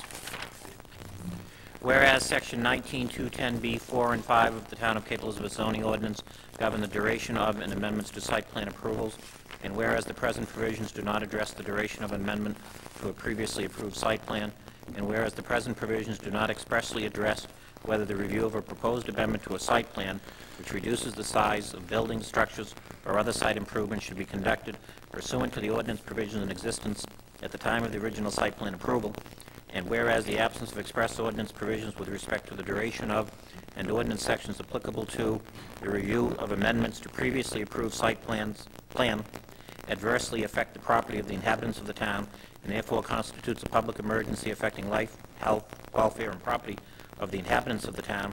Now therefore, to meet the existing emergency, the town council hereby adopts the following emergency ordinance pursuant to Article 2, Section 12 of the town charter to take effect immediately. Section 19210B, subsections 4 and 5 are hereby amended as follows. Uh, Subsection 4, site plan approval shall be valid for a period of one year from the date of planning board decision, the planning board decision. Prior to the ex- expiration of the site plan approval, the applicant may request one extension of up to one year from the planning board for cause shown. Site plan approval shall remain valid if a building permit has been issued for the project prior to the expiration date. Expiration of the building permit shall render the site plan approval null and void. Failure to comply with conditions placed upon site plan approval, to post any necessary performance guarantees, to comply with any other permitting processes, or to address any other issue of site development, except pending litigation challenging the site plan approval, shall not imply automatic ext- extension of the site plan approval. Projects which have received site plan approval prior to February 1, 1994 shall be valid until February 1, 1995, prior to which time an extension may be requested. Amendment of a previously approved site plan shall extend the approval for one year after approval of the amendment, provided a written request for amendment is submitted to the town planner prior to the expiration of the original approval, uh, the expiration of any previous extension, or the expiration of a building permit for the project, whichever is later. Only one extension as a result of amendment shall be permitted, and for no more than one year. If requested amendment is denied, the previous approval expires on the same date as it would have expired if no amendment had been requested. Subsection 5. Any alteration of a site which is inconsistent with the approved site plans shall require an amendment to the site plan. Planning board approval must be obtained prior to the alteration. If the alteration proposes a reduction in the size of building structures or other site improvements, it shall be reviewed under the provisions of this ordinance and any other town ordinances which are in effect at the time of the original application approval. De minimis changes to an approved site plan may be placed on the planning board consent agenda at the at the discretion of the town planner. De minimis changes shall not include, one, a change to a public or private right-of-way or easement, two, a decrease in proposed buffering or landscaping, or three, any issue involving a condition placed on the site plan approval. Prior to placement on the consent agenda, the applicant shall meet with the town planner to review the proposed changes and shall provide eight copies of the revised site plan to the town planner at least 18 days prior to the next regular planning board meeting. The decision of the town planner to not place an item on the consent agenda may be appealed to the planning board upon submission of 14 copies of the proposed change to the town planner 18 days prior to the next regular meeting of the planning board.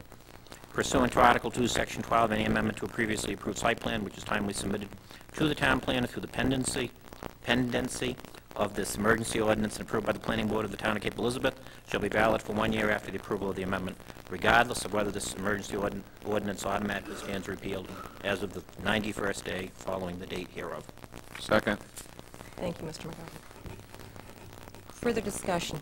Councilor Reed? Um, Madam Chairman, the immediate pa- past president of the, past president, I'm sorry, past chairman of the planning board is here, and I'm not asking for his opinion on uh, this project, but may I ask a question regarding, uh, in his six years on the planning board, if this is uh, a process that has been used by many residents or um, commercial developers? And if I can't ask that, Mr. Emery, would you please come to the microphone?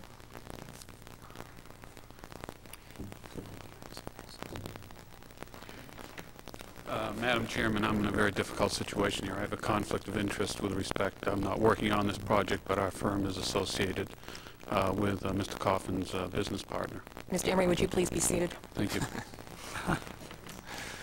Mr. Hill, a question?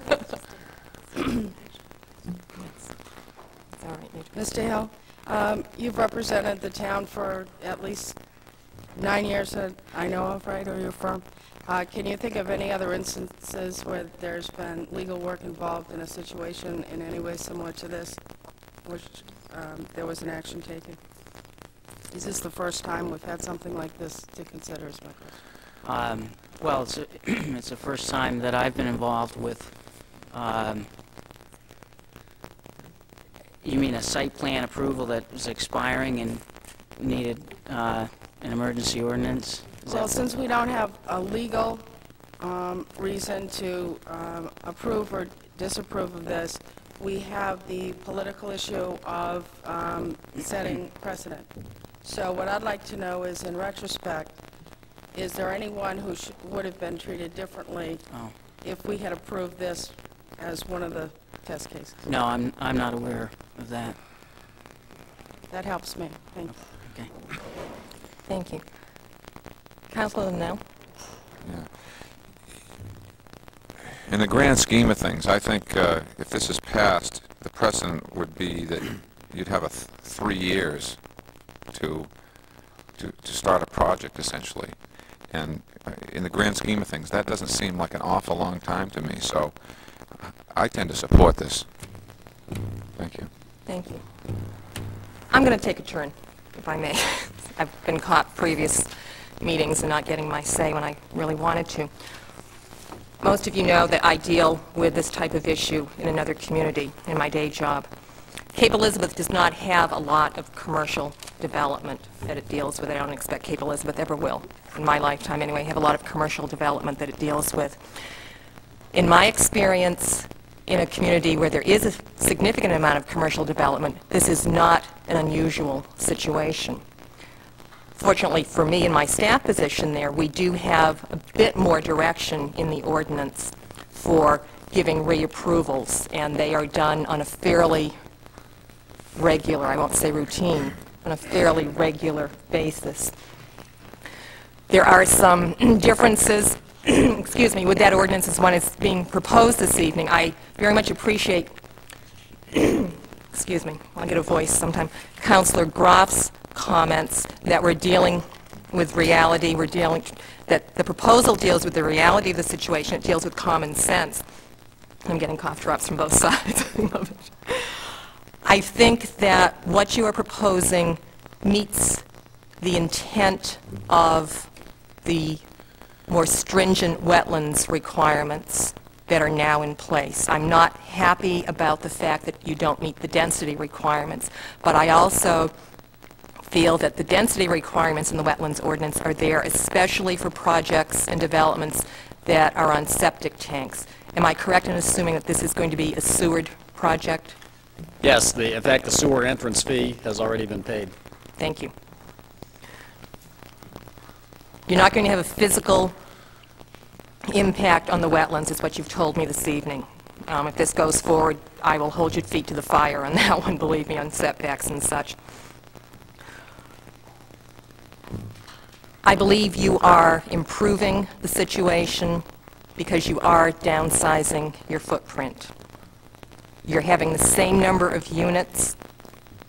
If the site previously could accommodate that number of units, I'm gaining a better comfort level that it can accommodate that number of units with the downsizing. It's more realistic financially, that is good planning, that is something I want to encourage, and I hope the town will encourage.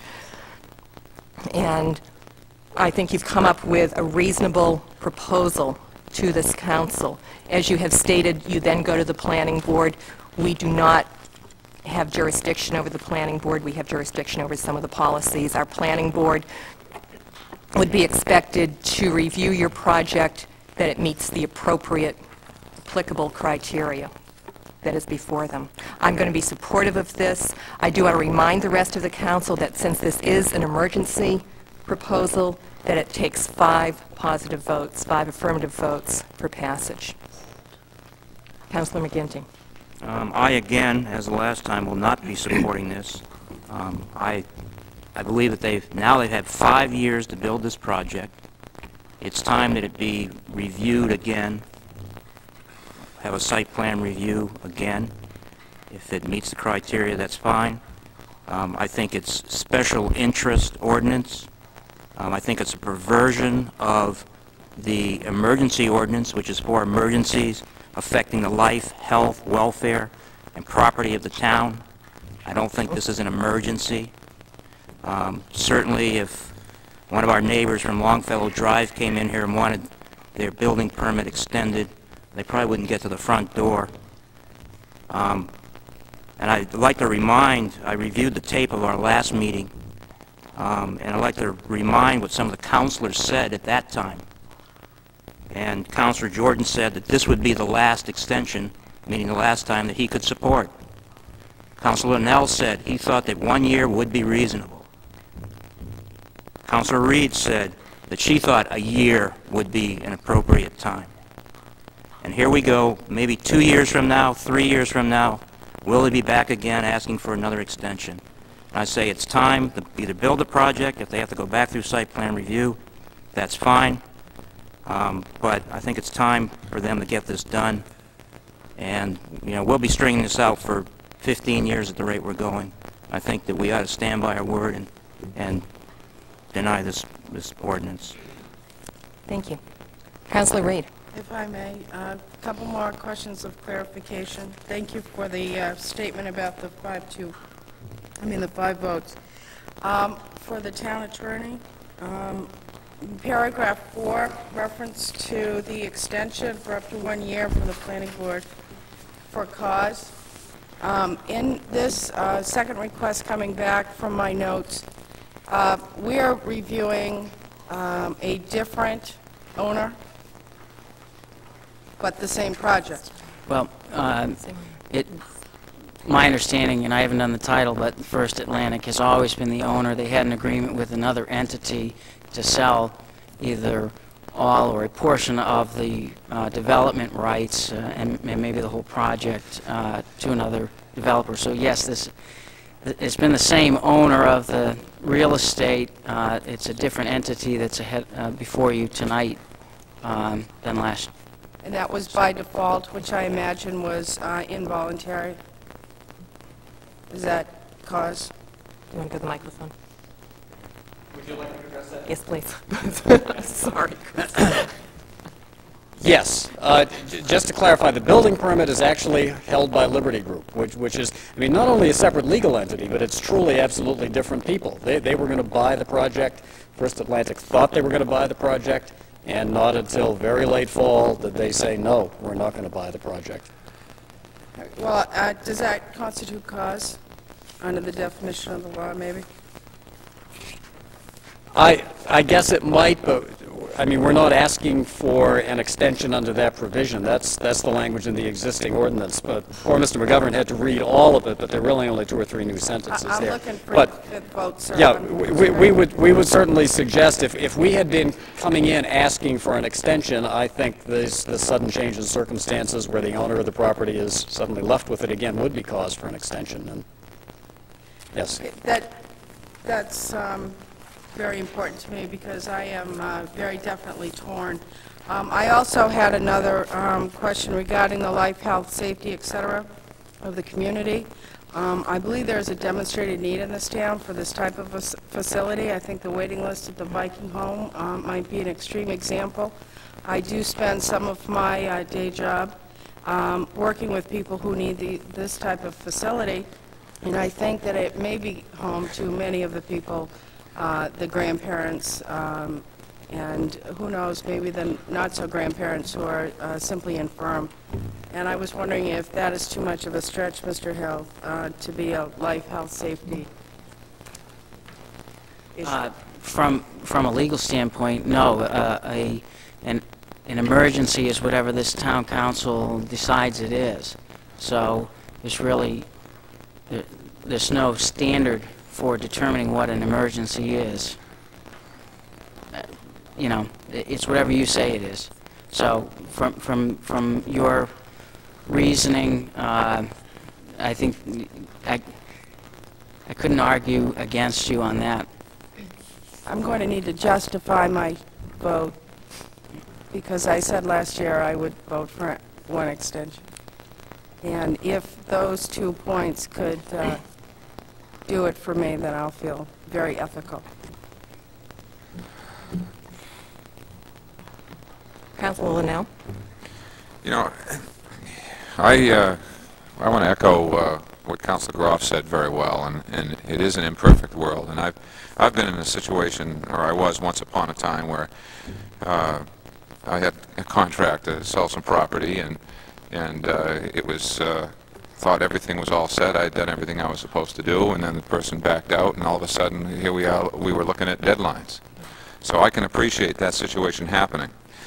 Um, I see this project as less impact than what we were talking about a year ago, so I think circumstances have changed. Um, I think uh, the benefits to the tax base uh, are clear. Uh, It would uh, reduce my taxes or or allow us to have some of the uh, other things that people seem to want in this town without increasing taxes. And so I tend to support it. I don't think that, again, uh, on the face of this earth, three years is not that long a time, particularly when you're talking about a big project. And since the impact is less, uh, uh, I think it's better off than if they went ahead, if they were uh, forced into going ahead with the original project, would have a lot more impact. So I- I'm going to support it. Thank you. Councilor Groff? Then thank. I would just like to respond to the possible idea that some of the public might have that this is a special interest, uh, big money. I don't know this developer at all. I've never met him before in my life. Uh, I do deal with other projects, and I do deal in the real world uh, with towns other than Cape Elizabeth. But this isn't, for those of you sitting at home, some conspiracy where a big special interest group or big money is wielding power in Cape Elizabeth. That's not my vote. Uh, My vote is what's best for this town. Uh, And I believe this project is the best thing for this town. I believe that it's common sense uh, that should prevail. And I also believe the idea that we can't use um, emergency legislation is erroneous from a legal point of view.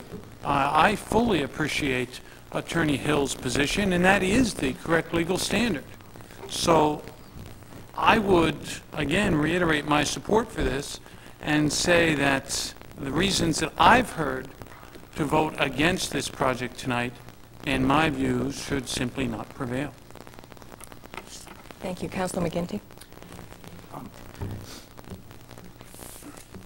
Regarding the tax status of this project, this is a for-profit um, organization um, that will pay taxes, is that correct?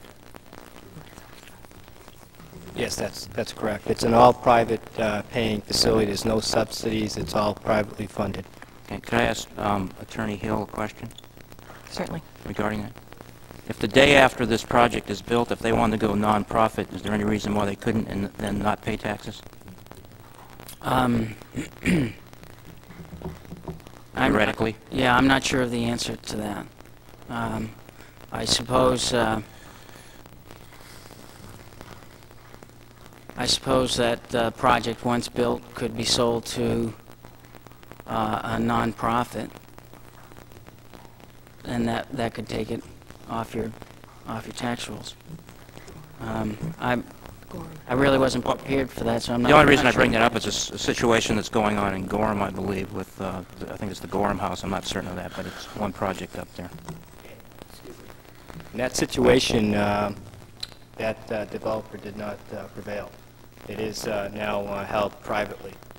Uh, That was something that the uh, town was uh, able to uh, show that they were really a not-for-profit uh, corporation.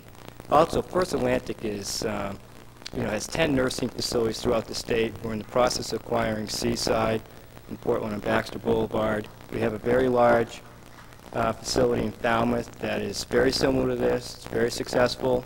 Uh, We also have one in Bangor, which is uh, with a partner with Eastern Maine Medical Center, and is also very successful. So we have the ability, we have the means, and in all of our history, which is going back 20 years now, we've never gone in and taken a, a facility or project and sold it, or, you know, come up with a different corp to make it nonprofit.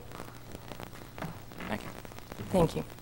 I would just like to say that from the dealings I have with developers, with residents, that it's very seldom that I find something that's truly cast in black and white. We deal with a lot of gray areas. This is, for me, a bit of a gray area. It's some uncharted ground to some extent.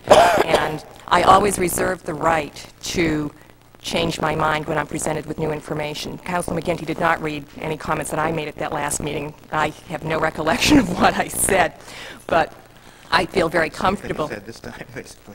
At least I'm consistent, John. I'm, I feel very comfortable when I am presented with new information that I can make my decision at that time based on the best information that I have. And that's why I, you know, don't need to reiterate, but I will be supporting this. Uh, Is there any new information to discuss, No, Councilor? no new information other than I feel that what I had voted on previously, that the information that I've received today, eh, to me, sounds as though that it's going to go forward, which I was in doubt at the last time. So I'm going to support the project. Anybody else? I'd just point out that it's a different, uh, we- it's a different uh, person asking for the amendment or extension this time. Thank you.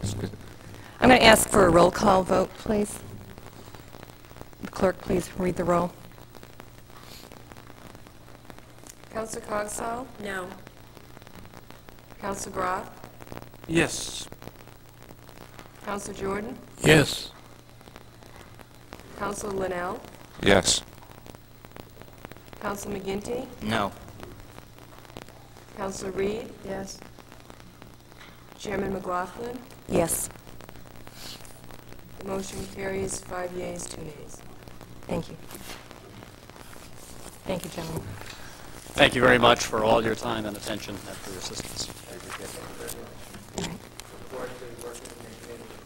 Thank you, Mr. Coffin. Mm-hmm.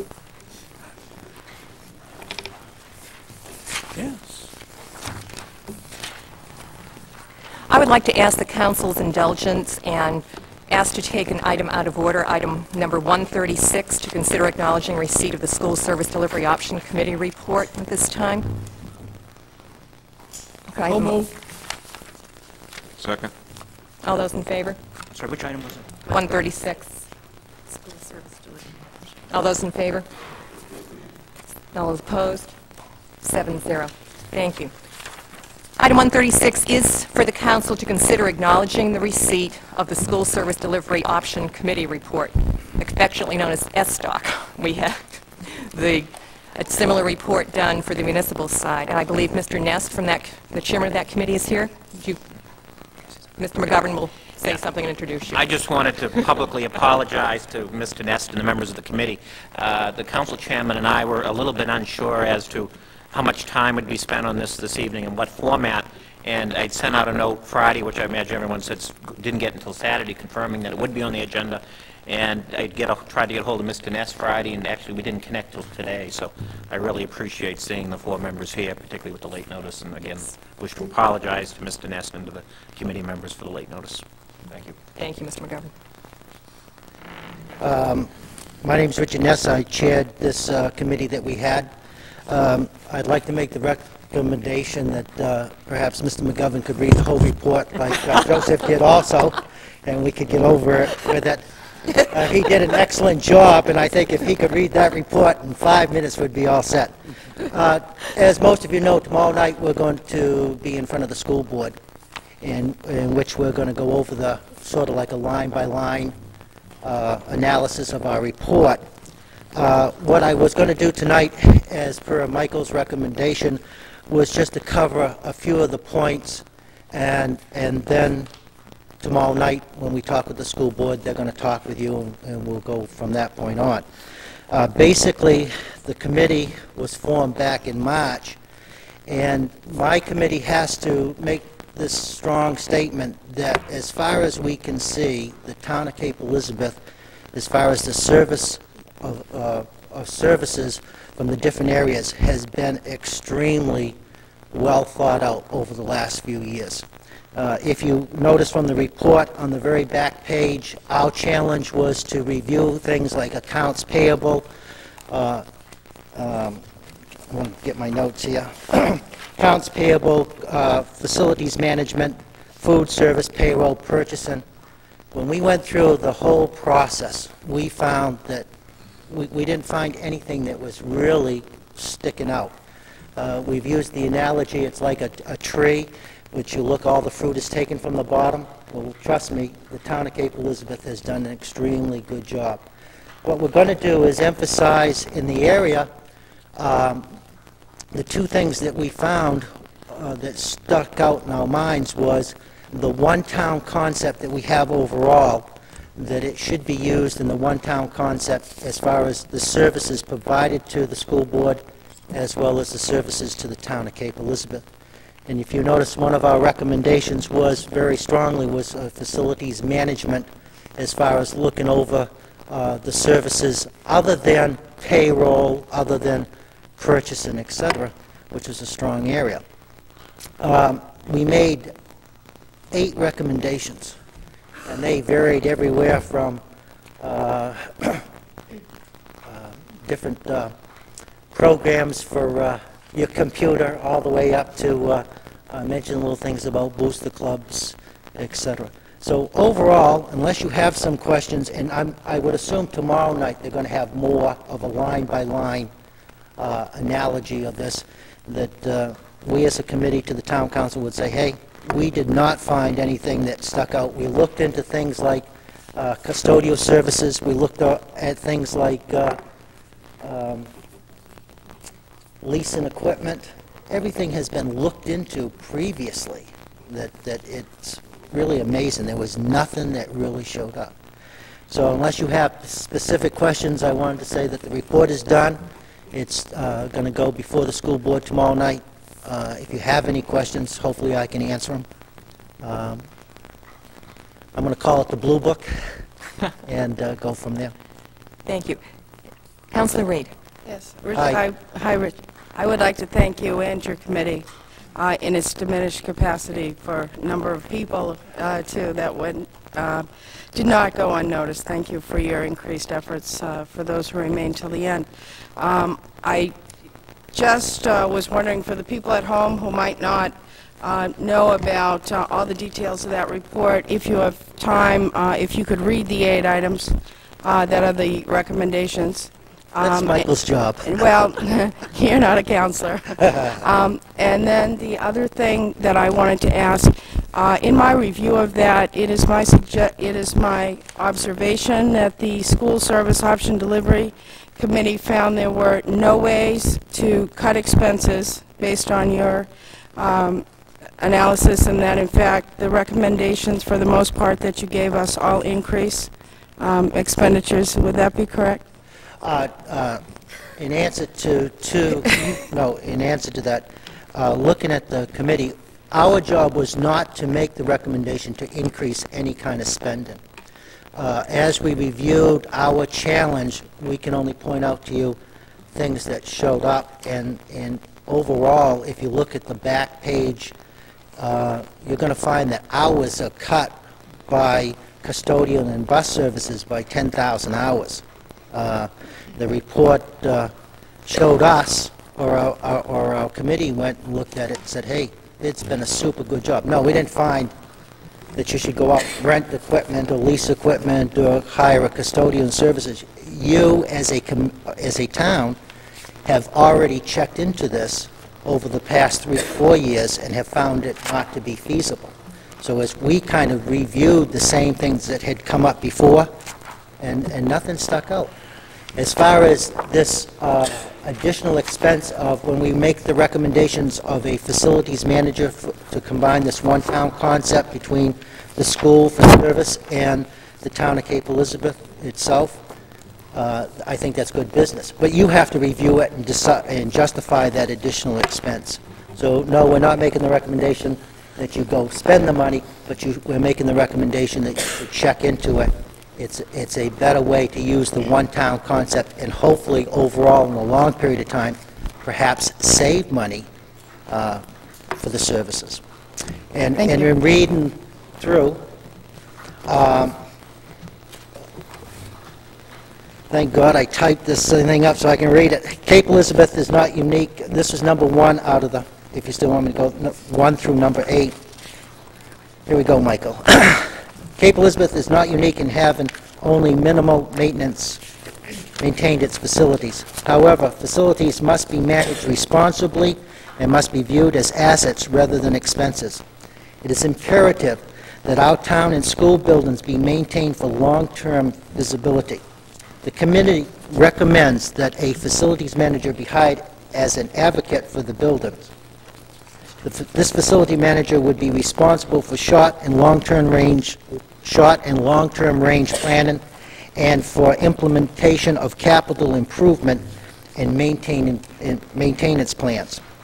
The category that we put that under was improved collaboration, which was one of our challenges. It was, one of the challenges was different areas. Improved collaboration would be that number one. Number two, facilities are expensive to maintain. However, we recommend that the town council and school committee deliberately and separately plan and budget for the costs associated with the ownership of municipal fac- facilities. Specifically, there must be a line item budget for both annual maintenance and operating expenses, as well as for long-term capital improvement items. These budgets should be prepared by the facilities manager, referenced in the recommendation number one. Again, we put that under improved collaboration between the town and the school. Number three, based upon the services provided by the booster clubs to the committee, as well as the funds involved, there appears to be an opportunity for more involvement by the town in the regulation and the, in, in the definition of their roles. We put that under the category of support the educational mission of the community. Again, as far as the cost, the booster clubs uh, uh, provide a lot of services for additional equipment, so that was support the educational mission of the community. Number four, due to the needs to streamline purchasing systems and to provide a broader array of additional reports not currently available, uh, open POs or vendors' histories, the committee recommends that the town council and the school committee direct the business manager to review currently available systems and software to handle information systems uh, management more thoroughly and effectively. We put that under the category of support the educational mission. You got to remember, when we went and looked at this, uh, we started this back in March. Some of these things have already been in process. This is how well the town has already done. Some of the things we found have already been in, uh, started. Number five, the superintendent's and business managers' professional affiliations overlap with those of our neighboring communities. However, several of the towns surveyed belong to the Casco Bay Educational Alliance, and they suggested that this co-op was a useful vehicle for information sharing. We put this again under the Committee of Improved Collaboration. Number six, in reviewing the auditor's report, the issues of checks and balances has been consistently raised as an issue and should be addressed by the town and school government, government bodies. Ideally, the town will be able to come up with a system that satisfies the auditors without losing the benefits of cross-training. We put that under the category of support supporting the educational mission. That has already been started by Scott, so we, we noticed it from the auditor's report as far as providing the services that's come into it. Uh, Number seven, due to the high and rising cost of making copies, the business manager should explore the concept of a budget pay by the copy contract rather than a copy of services contract. We put that under the uh, heading of to support the community. Guess what? You've already done it. So, I mean, there's a lot of stuff that came up. I'm going to read the last page under the uh, executive summary, just to elaborate just a little bit. The conclusion, the one-town concept appears to be saving us all money and providing us with efficiencies that would probably be unavailable otherwise. Our school and town administrators appear to be managing our programs with enthusi- enthusiasm and dedication that have been actively and have been actively seeking ways to improve service and control cost. Long-term facilities planning and management are essential, however, in order to protect our investment in buildings and equipment. And the town therefore needs to take appropriate steps to ensure that we maintain them adequately and responsibly on an ongoing basis. Each individual category, payroll, food, you've done excellent. The one-town concept, we're making the suggestion that, that you overlap it to help provide the services, and services is the buildings itself. Uh, I believe we also, I don't know, I don't believe, I know for a fact, we included the minutes of the meeting. Uh, If you'll notice, the minutes of the meeting, for that first phase of the three phases that we did, if you'll notice, from March 27th to August 17th, we did an awful lot of interviewing with, with town people who, from principals to office, we, we toured the schools. A lot of the information that we got from them is, it's, everybody is so conscious of trying to save money that they're doing a super good job. I wish, uh, trust me, I wish I could come up to you and say, hey, we found this, we found that, but we really didn't, so. No, no, no news is good news or whatever, so. Great, thank you very much. I- Council Cogswell. I just, um, at one point, I thought part of the review was supposed to do a comparison between our town library and the library resource centers in the schools. Did you do any I think if we, area? if we look under, uh, and I'll have to check the notes, under some of the minutes of the meeting, when we got to that library area, for some unknown reason, uh, we, we checked into it and, and it didn't seem part of the mission. But we could have interpreted it wrong. I'd have to check the notes in the minutes. Uh, So, no, we didn't pinpoint anything in that area. We failed? Well, I think at one time we'd hoped that would be part of it, um, whatever aspect of it you would find suitable, but It was just um, We something do we it. thought would be fun to see laid out. We did, Otherwise, uh, Excellent job. If you notice, uh, when you say laid out, uh, we did, uh, there's a whole section that we have done a uh, comparison in the facilities management area, which is uh, five pages. That was the layout that we did. I believe the reason that was taken out, Phyllis, was because the library is considered the educational part. All the librarians in the um, schools are uh, professional staff under the teacher's contract, so that's why there was no reference to educational areas. These were all non-educational support areas. I was thinking more of the services and equipment and that sort of thing. It wasn't on the list. Councilor Linnell. I just want to thank Mr. Ness for all the work they've done. Uh, I- I- And I, I know the council's heard me say this before, that uh, I think that what you've identified in terms of the facilities manager uh, is is uh, invaluable. It'll save this uh, town a lot of money in the, in the future. And uh, anyway, I just commend everything you've done. Thank you. Thanks, and and for the committee, I want to thank you all also. You would just stay there, please. Oh,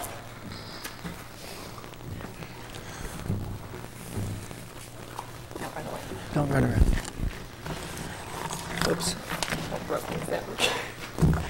I'd like the rest of the committee members who are here this evening to come up and acknowledge some thank yous. I know you didn't expect this part.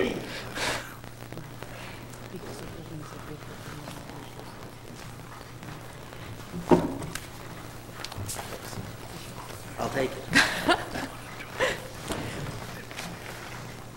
This started out as a seven-member committee. Two members who were not able to complete the committee assignment and who are not here this evening are Jim Gragnolati and Mike Reardon. Another member who was on the committee through the whole time, Molly McGoslin, is also not able to be here. But we have here tonight Mary Gale, Judith, Judy Rowe, Richard Ness, and Gil Jordan. And the town does want to extend their, our thanks to them, and I have something for each of you.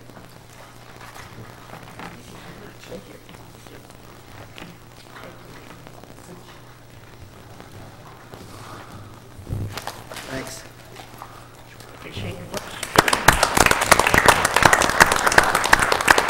Thank you.